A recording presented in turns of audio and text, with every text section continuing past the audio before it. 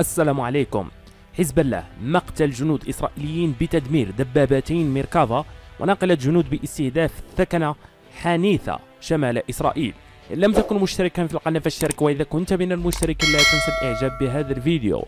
أعلن حزب الله اللبناني استهداف دبابتين من نوع ميركافا وناقلة جنود في ثكنة حانيثة شمال إسرائيل.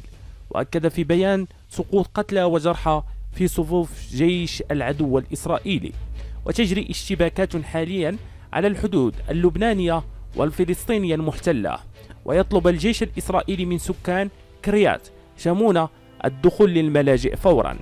وأفادت مصادر عربية وعبرية أن الاشتباكات كانت تجري في تلك المنطقة وهي اشتباكات كبيرة وتجري حاليا بين الجيش الإسرائيلي ومقاومين قرب الحدود اللبنانية.